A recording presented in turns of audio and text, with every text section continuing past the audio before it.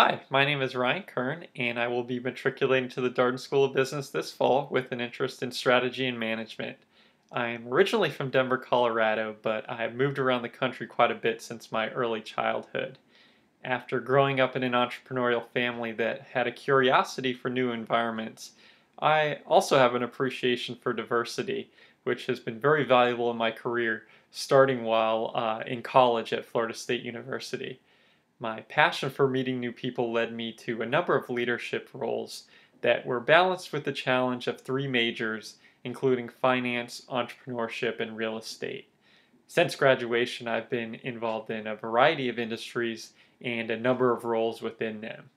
At my father's real estate development company, I learned a great deal about the entrepreneurial spirit, but even more about my drive and determination after the economic downturn forced us to close the business. Uh, I soon after secured uh, an analyst position in the insurance industry where I was involved in a number of pricing projects that strengthened my analytic and problem solving skills. Uh, these skills uh, then inspired me to pursue uh, an opportunity as a financial analyst. And uh, this role was the ideal way for me to learn how to identify critical data within financial statements and not only how to spot the data, but how to interpret and present it to a variety of audiences.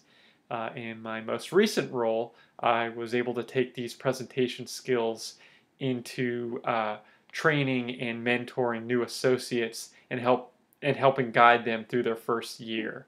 Uh, this position also enabled me to utilize my creativity as I tailored my uh, training plans to match each individual's skills and personality. I'm really eager to continue my pursuit of a career in management, and I'm confident that Darden will help strengthen my leadership and communication skills even more.